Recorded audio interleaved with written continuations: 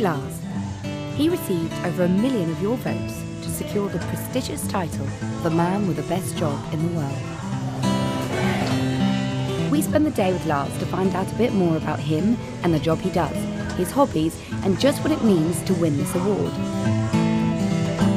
No peaks. No touches. Two times. Lars happens to be the health and safety officer at the topless female trampolining world championships.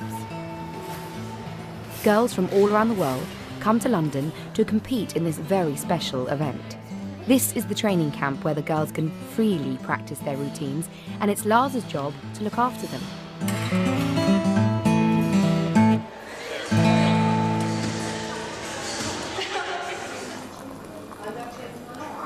So, Lars, how does it feel to win this award? Very, very pleased for sure. Very pleased. So, what is it that you do? I am the health and safety officer at the topless female trampolining world championships. Like on the badge and the cup. This is me. Can you tell us what your day looks like? Well, I make sure the place is clean and tidy before the girls arrive. And I check all the equipment, make sure everything is in safe working order for the bouncies. My other day-to-day roles include making sure the girls have enough clean towels to dry the bomb-bombs and the fanny fans. Is it dangerous?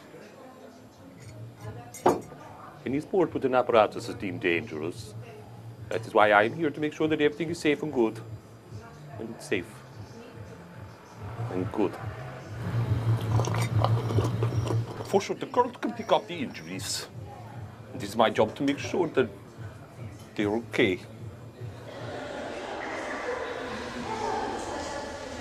It is also important that I remind the girls to do the warm up and the cool down after the, after the bounces.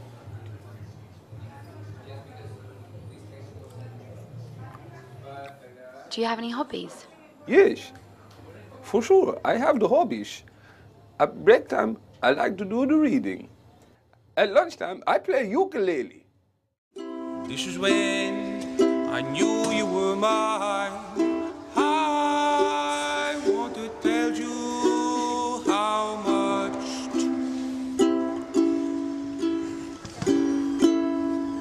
I love you. Sure, the music is important. I choose the motivational music for the girl during the bounces and also for the walk-on music.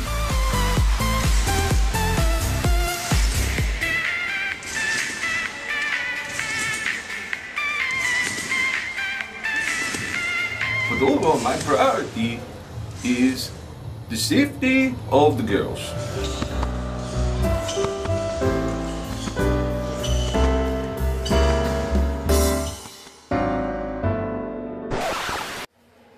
So, Lars, is there anything else you'd like to say?